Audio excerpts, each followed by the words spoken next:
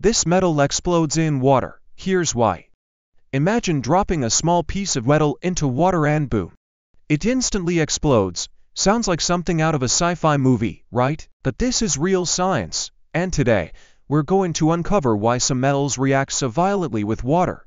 Not all metals are stable. Some, like sodium, potassium, and cesium, belong to a group called alkali metals. These elements are highly reactive so reactive that when they come into contact with water, they don't just sizzle, they can literally explode. Here's what happens. When alkali metals touch water, they immediately start a chemical reaction, producing hydrogen gas and a lot of heat. The reaction is so intense that it can ignite the hydrogen gas, creating an explosion.